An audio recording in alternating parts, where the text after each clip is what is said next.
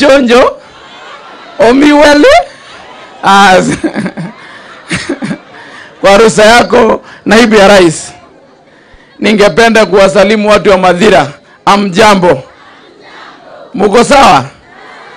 Hata mimi nimefika kutoka kule baringo penye inaitwa mogotio. Kulete salamu ya watu wangwana watu wanawapenda sana na nimekuja sababu ya heshima ya rafiki yangu kiongozi wetu kama vijana wa bunge kule bunge wa Mombe, na heshima ya kiongozi wetu tunamwitanga tunamwitanga Rigathi Kibet Gachagua kule nyumbani. So nimele, nimekuja kwa huyo mwito. Your Excellency, kwanza ni kukushukuru.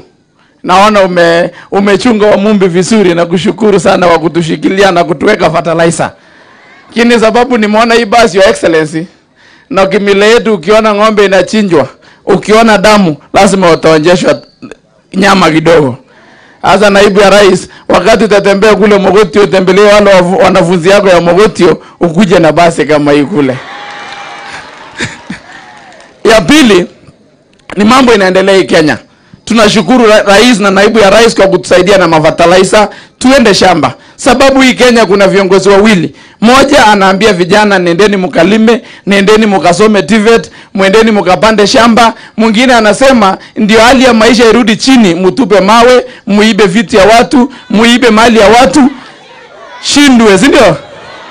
lakini sisi kule Rift Valley ndio tumeamua kupanda mahindi ili bei ya unga ikuje chini.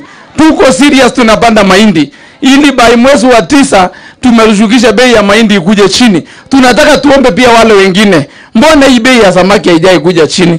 Na samaki haiweki fertilizer, samaki haifanywi chanjo, samaki simuuze shilingi mia hamsini ama ishirini.